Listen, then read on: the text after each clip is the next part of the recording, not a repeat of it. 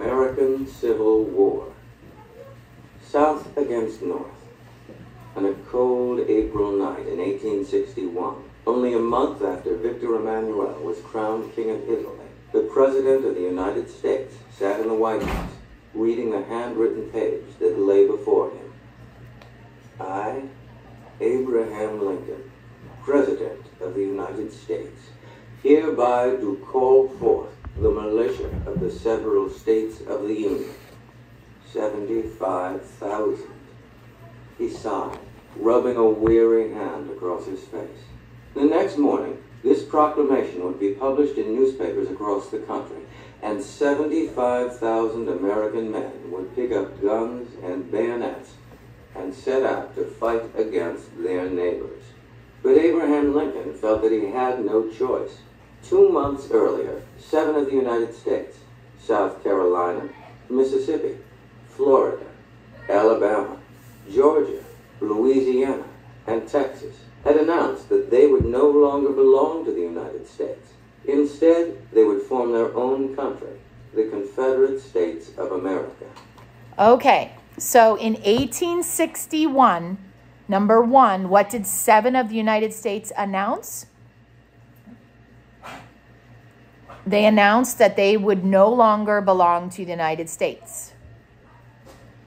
Okay, what country would they form instead? The Confederate States of America. And which states did this? Um, North and South Carolina. Just South Carolina. Oh, really? Yeah. Mississippi, Florida, Alabama, Georgia, Louisiana, and Texas. So South Carolina, Mississippi, Florida, Alabama, Georgia, Louisiana, and Texas. Okay, so that's questions one, two, and three. The Confederate States demanded that United States soldiers who were stationed at Fort Sumter, a military base in South Carolina, leave and turn the fort over to Confederate soldiers. But the United States refused to give up Fort Sumter. That was Two South Carolina, number four, South Carolina. dark, just before sunrise, Confederate soldiers had begun to fire round after round of cannonballs and shot at the walls of Fort Sumter. After a full two days of firing, the besieged U.S. commander inside the fort had finally hauled down the American flag. Now, flag of the Confederate States flew over Fort Sumter's walls. Abraham Lincoln had to decide how the United States would respond. He chose to fight.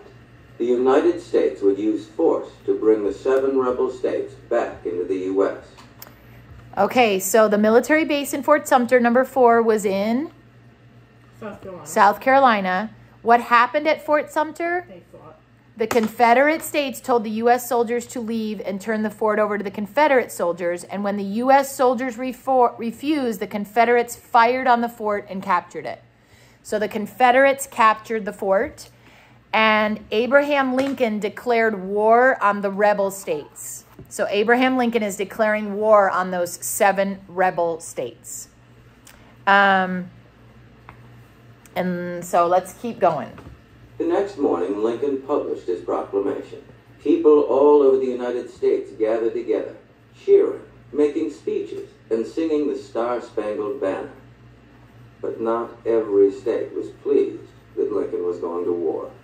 Two days later, Virginia joined the Confederate States. Virginia month later, joins. three more states Arkansas, Tennessee, and North Carolina.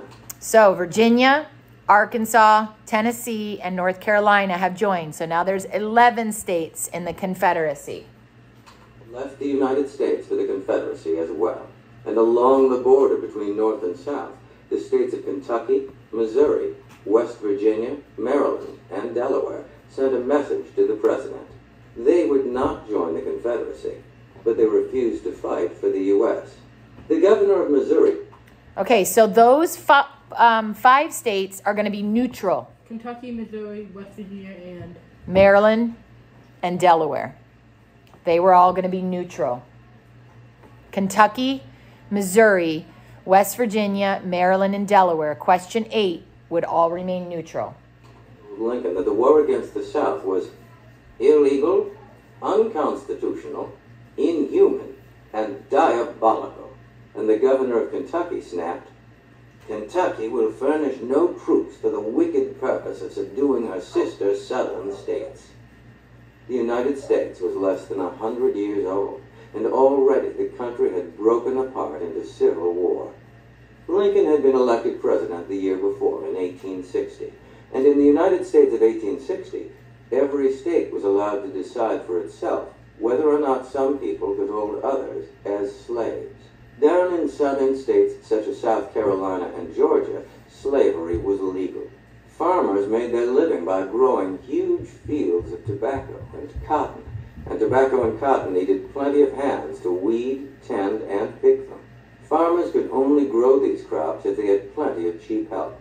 Without slaves, the farms of the South would collapse.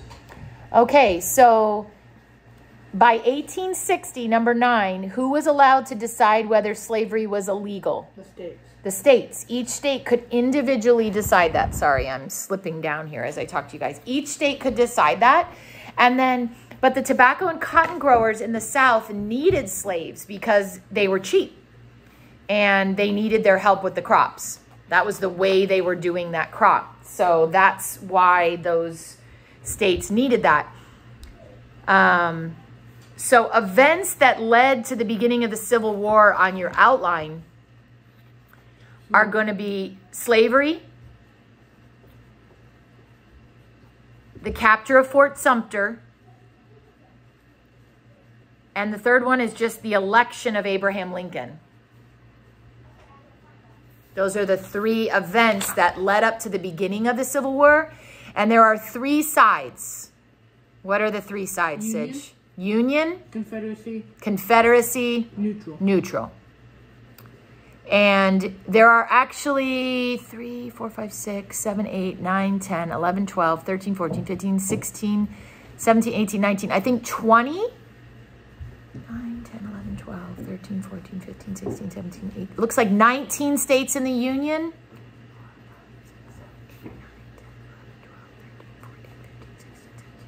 No, 20 states in the Union. 25 neutral, 5 neutral, so that's 25, and 7 Confederates, so that's 32.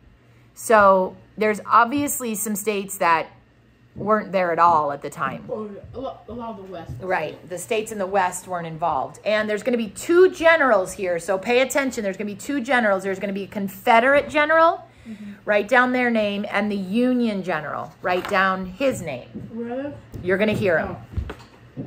In the northern states, slavery was illegal, but states such as New York, Pennsylvania, and Massachusetts didn't have huge fields of crops that needed tending. They had factories, mills, and ironworks instead. It's easy for Northerners to say that slavery should be against the law, Southerners complained. The North doesn't need slaves to survive. For decades, Southern and Northern states argued about slavery, but the argument didn't turn into war until new states began to join the USA. The Southern states wanted slavery to be legal in these new states so that the Northern states would be outnumbered. And the Northern states wanted slavery to be illegal in the new states so that slaveholding states wouldn't overwhelm the rest of the U.S. Okay, so when we said events leading up to the beginning of Civil War there in the outline, it, it's a disagreement between slavery, but it's especially a disagreement when the new states enter if slavery was legal or not. So Okay. you especially want to note that it's about when the new states came in, what would it be? I just read it. That's fine. Even before he became president, Abraham Lincoln was firmly on the side of the North. When he was asked why he didn't want new states to have slaves, Lincoln retorted, If there was a bed newly made up to which the children were to be taken, and it was proposed to take a batch of young snakes and put them there with them, I take it no man would say there was any question how I ought to decide. Lincoln believed that slavery was as poisonous as a nest of snakes. So as soon as Lincoln became president, slaveholding states of the South began to get ready to leave the United States. When they finally left, or seceded, Lincoln declared war. Okay, so that was question 13. Was Lincoln for or against slavery? Against. He actually compared it to a poisonous bed of snakes. When a state secedes, what does it do? Leave the country. Leaves the government. Leaves the government, but also leaves the country, right?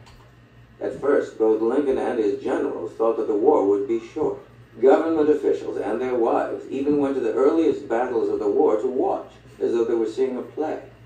They were sure that the play would end with the blue-coated United States soldiers, called Union soldiers, because they were fighting to keep the states unified, crushing the gray uniformed Confederates.